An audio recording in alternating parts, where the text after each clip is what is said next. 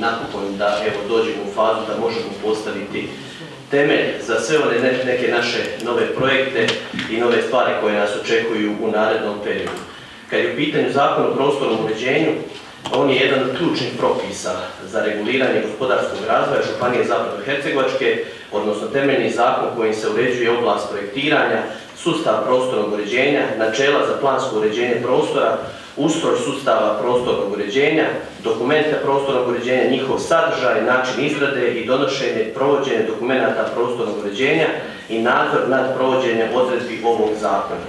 E, ono što je veoma bitno, znači ministarstvo je u prijašnjem periodu imenovalo povjerenstvo za izradu ovog zakona gdje su bili evo, predstavnici svih naših lokalnih jedinica i naravno predstavnika ministarstva prostornog uređenja.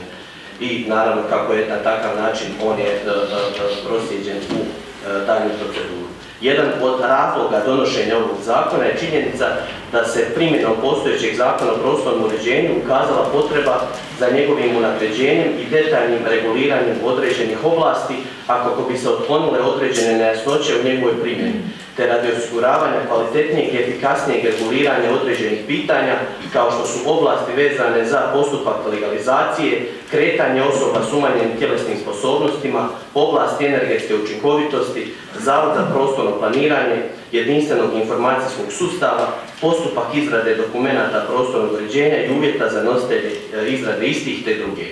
Ono što svakako ovdje moramo naglasiti da je ovaj zakon, a kasnije evo, i zakon o građenju, jedan temelj za sve one zakone koje namjeravamo donijeti u narednom periodu. To je posebno zakon o legalizaciji koji ćemo koji ćemo evo već u fazi dogovora i osnivanja povjerenstva za izradu istoga. Kasnije isto tako nemojte zaboraviti da kroz ovaj zakon o prostornom uređenju otklanjamo na, napokon arhitektonske barijere koje su evo dugi niz godina bile jedan veliki problem. Isto tako znači za e, osobe sa umanjenim tjelesnim sposobnostima. Naravno kad je u pitanju GIS, tu je evo veoma bitno da znate da smo kroz ovaj novi zakon još više unaprijedili naš, e, naš sustav koji je isto tako veoma bitan. Kao što sam rekao, temelj za sve nekakve e, nove zakone koji će se dogoditi, isto tako, evo, nakon dugo vremena donosimo prijedlog, evo, na usvajanje. Ono što isto tako je veoma bitno, a želim da imate i vi tu informaciju, E, nakon, evo ja se nadam da ćete na, na vašoj današnjoj sjednici usvojiti ovaj zakon, on će biti temelj za donošenje novog prostornog plana Županije Zapadno-Hercegovačke. Kao što znate, prostorni plan Županije Zapadno-Hercegovačke je određen u periodu 2012-2032, no međutim, mi danas živimo u vremenu gdje imamo mnoge strateške odluke, mnoge političke odluke, mnoge bitne odluke kad je u pitanju infrastruktura naše županije. Ja se nadam da ćemo kroz novi prostorni plan još bolje i više definirati naše strateške, strateške politike na dobrobit svih stanovnika naše županije. Zato je ovaj zakon isto bitan jer će postaviti temelj i za novi prostorni plan. Ja se nadam da ćemo evo vrlo brzo nakon usvajanja ovog zakona pokrenuti i inicijativu za donošenje novog prostornog plana već su pripremljeni kompletni dokumenti, kompletna dokumentacija koja će doći isto vrlo brzo na vaše klupe u Skupštinu Županije Zapadno-Hercegovačke, te se evo zbilja nadam da ćemo i kroz taj način našu županiju podići na jedan novi e, bitni level. Evo, hvala vam lijepo, ako ima nekakvih pitanja, slobodno evo tu smo na raspolaganju. Hvala vam ministre Širiću, rado otvaramo raspravu. Tomislav Banić.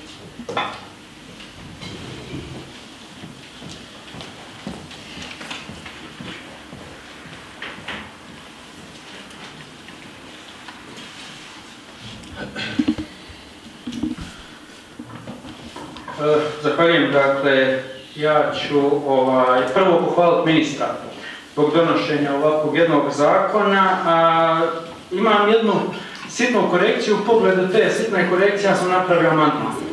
Ovaj, radi se o izmjeni članka 17 e, prijedloga zakona, odnosno da se u stavku 2 pod, e, pod slovom A doda i druge e, površne kao što je to učinjeno, isto tako u članku 19 pod stavkom 2a.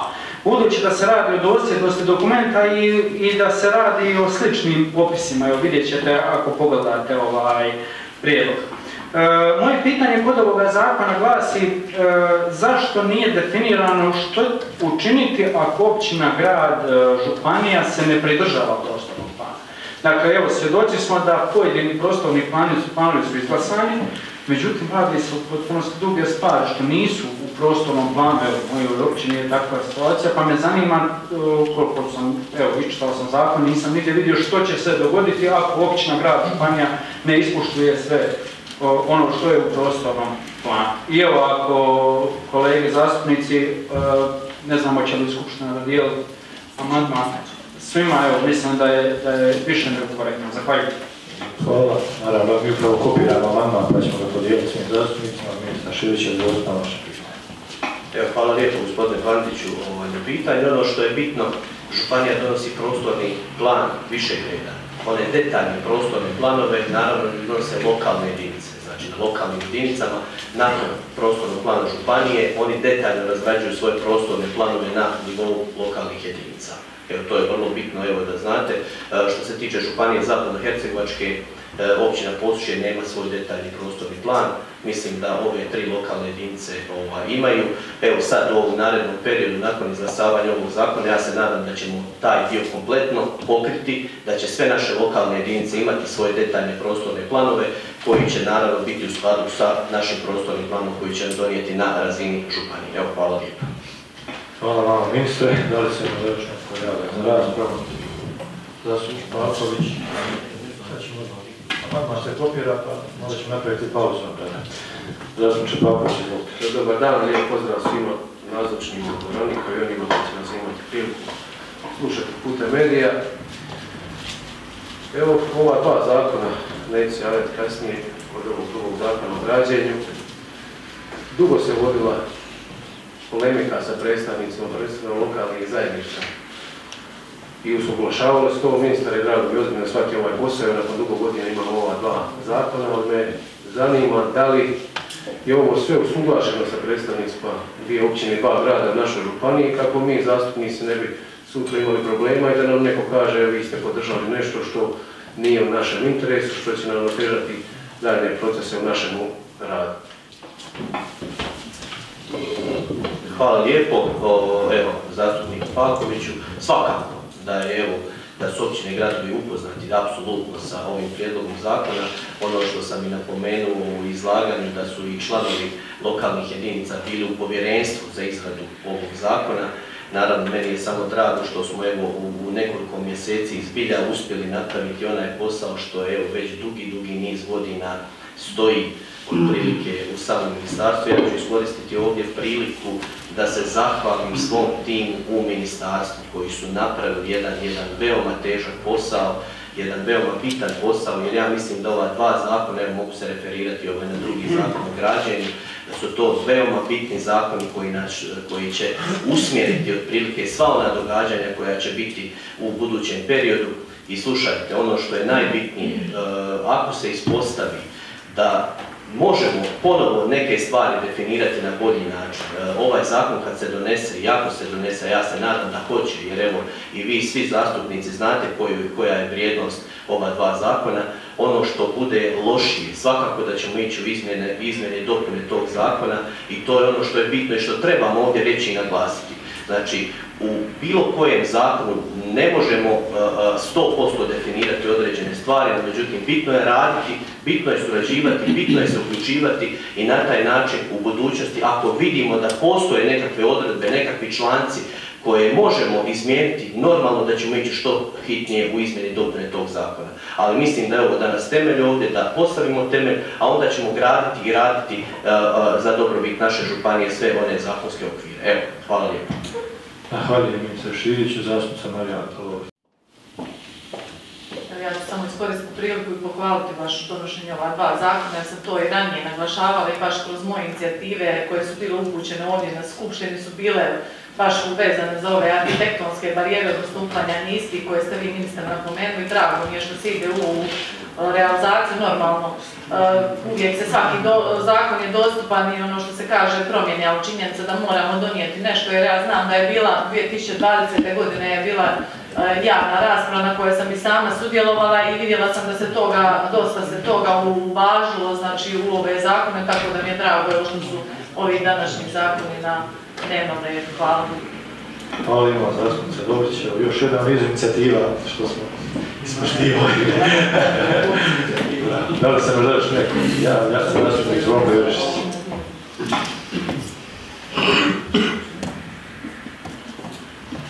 Hvala gospodine predsjedniče. Ja sam se svakako mislio javiti na ovu temu i o zakonu o građenju i ovome zakonu o prostornom uređenju.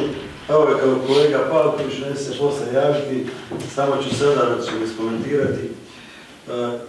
Ja ću isto pohvaliti a, rad ovih godinu dana ministra Šilića. A, Što je rekla kolegica, 20. godine veljače mjesec su, su ovi su zakoni bili na skupštinskim klupama, mi ovi koji malo duže pamtimo, pa je tada donošena odluka da se ide u javnu raspravu koja je obavljena. Mislim da su sa javne rasprave ti zakoni usvojeni 21. u 9. mjesecu, znači evo nakon četiri godine ovaj zakon će znači, ugledati svjetlo dana. A, vidite, ja onako sam vrlo zapazio ovim i odgovorima na pitanja i, evo, i ovoga zakona, vjerojatno i poslije zakona o građenju, koji smatram poslije zakona o proračunu Županije Zapadne Hercegovačke i najbitniji u ovo vrijeme, znači u ovoj skupštini, jednako e, posmatra ministra Širića njegovu elokventnost u iznošenju ovih e, e, svih ovih zakona, obrazloženja ovoga zakona i ministre, čestitam na vašem radu, vi ste stvarno u tom ministarstvu unijeli nekakve novine. Imali smo bivšeg ministra koji je naš sugrađanin, evo pohvalili ste i vaše kolege koje radite u ministarstvu, ja ih pohvaljujem. Isto tako i potpora vašem radu i vašem e, prezentiranju. Vrlo upečatljivo to činite, vrlo uvjerljivo, pa i ako čak nešto nije, vi uvjerite čovjeka da je tako. Tako da, evo, neće se javljati i ovome zakonu o građenju, jako, jako bitni zakoni za razvoj naše županije. Naravno, temelj za legalizaciju, koliko ima nelegaliziranih objekata, pa, i, i, i, i, i dalje ti zakoni koji iz ovoga proizlaze. To je Hvala. Evo, 27. ožujka i godina dana kad imamo ovu vladu, tako da malo i godišnjica je tu. Da li se još netko javlja, koliko vidi nije, mislim da bi dovoljna pauza od 10 minuta da se vlada razmotri amandman da se oštuje. Pa evo, kad završite, započet Pauza da se vlada oštuje na amandmane.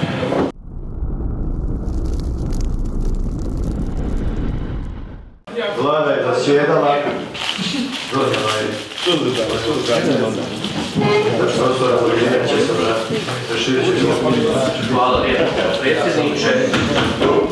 Na pauzi je otprilike evo, vlada je, vlada je zasjedala i donijeli smo ovaj, odluku da prihvaćamo amandman e, znači gdje se dodaje temelje, temeljnu namjenu prostora, poljoprivredno, šumsko i građevinsko zemljište, te vodne i druge površine, te evo predlažemo dalju proceduru. Zahvaljujem. Tako da, da smo već raspravu, vlada je obrazložila amandman, da prihvaća, pa ja prijedlog zakona o prostornom uređenju uz amandman HRS-a daje na glasovanje. Tko je za da se usvoji? Ima možda netko protiv? Suzdržan, konstatira da smo jednoglasno usvojili. Festival demokracije. Idemo na Ja 34. Blago, pozitivno iznenađen. Pozitivno, pozitivno za ovo. Hvala vam. Idemo dalje. Prijedlog zakona o građenju. Hvala lijepo gospodine predsjedniče, još jednom. Kad je u pitanju zakon o građenju, znači on je jedan od ključnih propisa za reguliranje gospodarskog razvoja županije Zapadno-Hercegovačke, odnosno temeljni zakon koji se uređuje tehnička i druga svojstva kojima moraju udovoljavati građevine na području naše županije, sudionici građenju, temeljni uvjeti i zahtjevi za građevinu, izradu tehničke dokumentacije, postupak izdavanja građevne dozvole, odnosi na gradilištu, postupak izdavanja uporabne dozvole, uporaba i održavanje građevine, uklanjanje građevine, propisuju se odredbe o nadzoru i sankcije zbog nepredržavanja odredbi ovog zakona, kao i druga pitanja od značaja za građenje na području naše županije. Naravno, osobito vrijednim i ograničenim prirodnim dobrom. Ono što isto tako, evo, morate otprilike znati da je ministarstvo kroz svoj dio ova, imenovalo povjerenstvo za izradu ovog zakona, isto tako gdje su bili predstavnici lokalnih jedinica, dva grada i dvije općine i isto tako članovi e, samog ministarstva prostornog uređenja, graditeljstva i zaštite okoliša. Ono što je jedan od najvećih razloga donošenja ovog zakona je činjenica da se primjenom postojećeg zakona o građenju ukazala potreba za njegovo unapređenje i detaljnije reguliranje u cilju otklanjanja određenih nejasnoća u njegovoj primjeni, te radi osiguravanja kvalitetnijeg i efikasnijeg reguliranja određenih pitanja kao što su oblasti vezane za proceduru izdavanja građevnih i uporabnih dozvola, kao i nadležnosti tijela za iste, legalizaciju građevina, sudionike u građenju, uspostavljanje inženjerske komore, tehničku dokumentaciju, kretanje osoba s umanjenim tjelesnim sposobnostima, oblast energetske učinkovitosti i druge.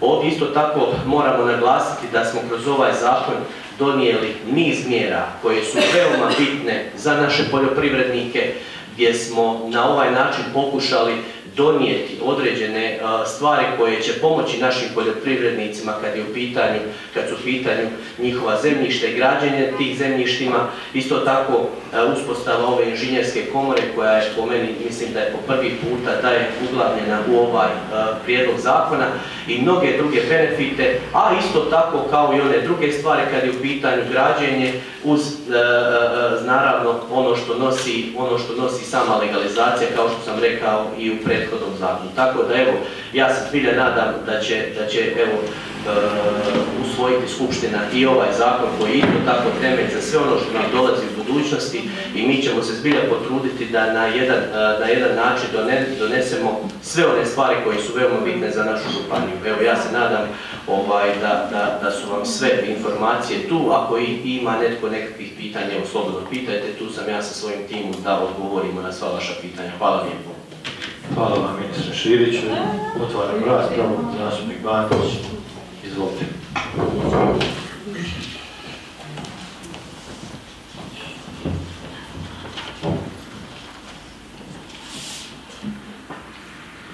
E, Zahvaljujem. Dakle, na ovaj, na ovaj zakon e, također ću amandmanski djelovati. Dakle, izmjena članka 9 stavak 2, e, odnosno da se rok izmijeni sa dvije, e, na dvije godine, ne na pet, za građane koje su javne, javne i poslovne namjene.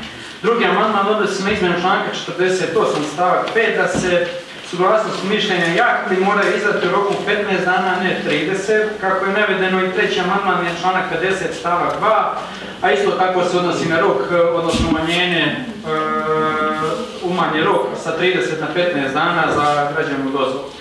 Dakle, jednostavno, zašto ovo, zašto ovako amandmanski djelo? Ljudima se odluči ovo, dakle, imaju tu procedure koje se treba ispoštovati i to je sve u redu, međutim, mislim da imamo dovoljno kompetentni i sposobni ljudi u javnim institucijama koje mogu e, ove, ove zahtjeve obraditi i za 15 dana.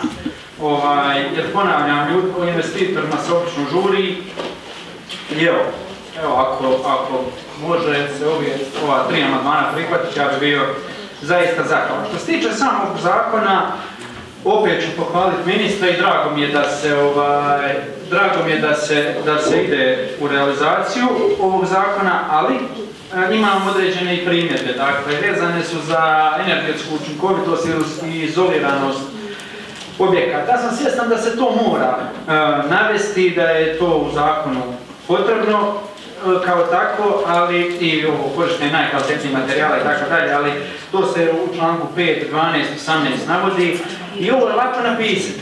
Ali evo, moj apel je, i u redu, nek to stoji, ali moj apel je vladi e, da, da jednostavno pokušamo iznaći način da se ljudima onda, barem ako kažemo da ljudi moraju izolirati objekte, da moraju imati najkvalitetnije materijale i tako dalje, da im pokušamo to olakšati na određen način. Jer sad, bilo to subvencije, bilo to poticaj, ne znam, ja ne želim sad ovdje, moglo bi se o tom napraviti jedna cijela tematska sjednica na koji način, odnosno da se ta sredstva preliju u prave ruke, da znamo da se često takva sredstva ne, preliju, ne dođu u prave ruke, ovaj, ali evo, treba imati na umu da ljudi nemaju baš novca i nije lako sve ovo ispoštovati, pa evo, ako se može uvažiti ovi amandmani i ovaj apel da pokušamo ostvariti određene mjere za olakšanje kako bi se mogao ovaj zakon izvršiti u potpunosti. Zahvaljujem. Zahvaljujem zastupniku Mladiću. Da li se može još neko javlja za raspravu? Koliko vidim, niko se ne javlja za raspravu. Mi moramo ponovno napraviti pauzu. Hvala lijepo predsjedniče. Evo možemo krenuti od prvog amandmana. Članak 9, znači u građevinama iz stavka 1 ovog članka za koje je izdana građevna dozvola, odnosno koje su izgrađene prije donošenja ovog zakona, arhitektonske barijere koje onemogućavaju pristup i kretanje osobama sa smanjenim tjelesnim mogućnostima uklonit će se u roku od 5 godina od stupanja na snagu ovog zakona u slučaju građevina javnih i poslovnih namjena u roku od 2 godine glasio je amandman. Vlada ne prihvaća znači ovaj amandman iz razloga što, evo da e, kratko samo obrazloženje, mi smo e, već raspravljali dosta po ovoj temi i otprilike u nekakvim razgovorima sa lokalnim jedinicama i sa evo svime onima što oni moraju poduzeti, mislim da ipak treba vremena da kroz javne natječaje, kroz sve ono što je potrebno da završe otprilike ovu problematiku, e, da, da ne bi stvorili probleme znači po tom pitanju. Ono što je bitno, mislim da će sve naše lokalne jedinice odmah krenuti ovaj, po ovom pitanju. Ja se nadam da neće trebati čekati ni pet godina, da će se to sve srediti u godini dana, no međutim ovaj, ipak trebamo ostati to vrijeme zbog i natječajne procedure, zbog izvođača radova, zbog rokova, jer zašto bismo napravili i tu određen vid problema ako nema potrebe, a ja se zbilja nadam da će se to riješiti u što kraćem periodu.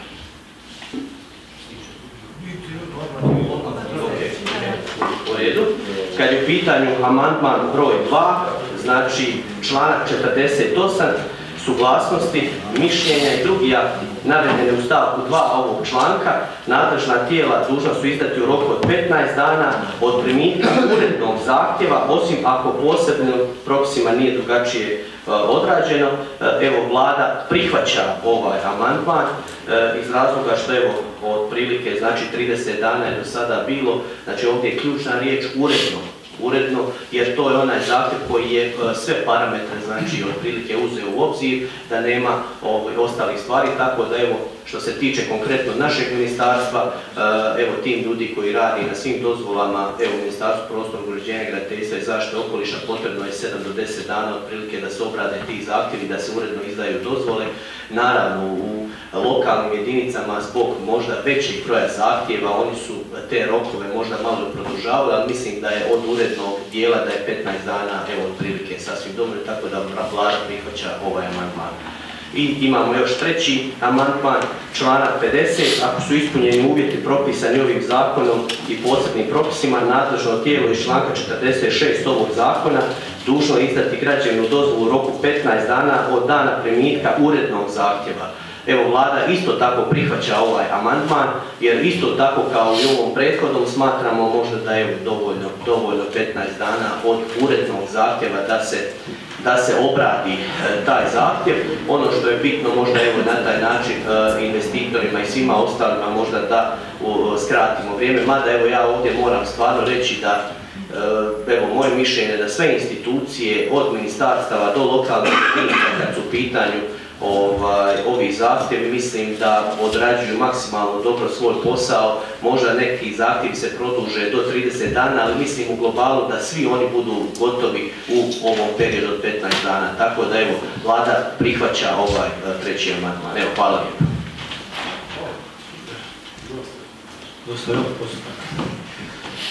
Dobro, zahvaljujem ministre. Idemo mi sada sa glasanjem. Ićemo amandman po amandman. Znači, idemo prvo od prvog amandmana, koji vlada nije svoje. Ko je za to da se amandman broj 1 od zastupnika Bančića usvoji? Glasa za. Tko je protiv? Ima li netko suzdržan? Tri suzdržana. Dobro, zahvaljujem većinom glasova, amandman broj 1 je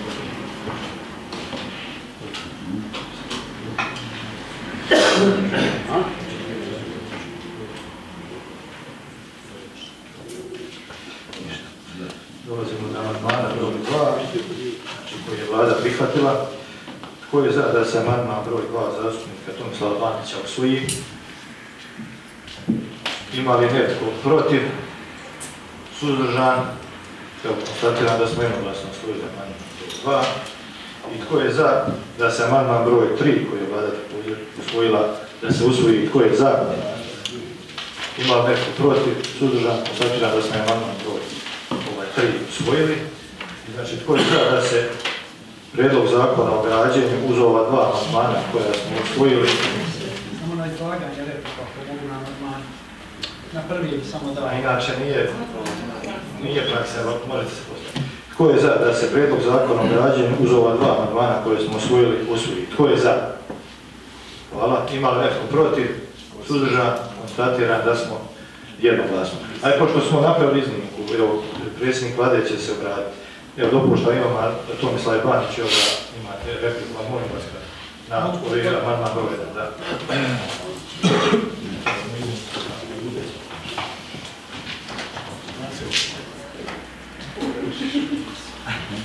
Zahvaljujem. Dakle, prvo ja se zahvaljujem i- i za prethodnu točku i usvojen amandman i za ovu točku za usvojena dva amandmana. E, što se tiče prvog amandmana, svjestan sam ja poteškoća koje se mogu pojaviti ovaj, i razumijem. Međutim, evo, dobro bi bilo i da i vi iz ministarstva apelirate, znamo kako da se tu radi o problema osoba, pristupa i tako dalje, i ljudi su primorani ići u te institucije i u pogledu toga ovaj, sam dao amandman, pa evo samo jedan apel da, da ovaj, e, institucijama koje nemaju kvalitetan pristup, evo da apelirate da što prije krenu u te procese, da se jednostavno to Evo, Zahvaljujem da ne čeka se tih pet godina.